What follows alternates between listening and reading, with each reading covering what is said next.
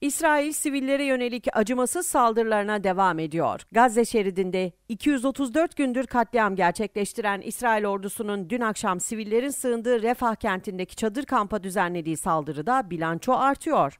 Talal Sultan kampındaki saldırıda hayatını kaybedenlerin sayısı 40'a yükseldi. Filistin Kızılay'ı çadırlardaki insanların birçoğunun canlı canlı yakıldığını aktarırken, bölgedeki hastanelerin İsrail'in sağlık sistemini kasıtlı olarak yok etmesi nedeniyle yeterli hizmet veremediğini bildirdi.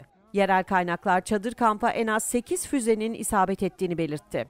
Filistin Sağlık Bakanlığı tarafından yapılan açıklamada, Sağlık Bakanlığı tarihte daha önce hiç bu kadar çok katliam aracının bir araya getirilip dünyanın gözü önünde kullanılmadığını, Gazze'de şu anda olduğu gibi halkın su, gıda, ilaç, elektrik ve yakıttan mahrum bırakıldığını, altyapının çökertildiğini, tüm kurumların tahrip edildiğini, sanitasyonun bozulduğunu, salgın hastalıkların yayıldığını, sağlık sisteminin çökertildiğini, kuşatmanın uygulandığını, geçişlerin kapatıldığını ve tıbbi malzemeyle heyetlerin girişinin engellendiğini doğrulamaktadır ifadeleri kullanıldı kullanıldı.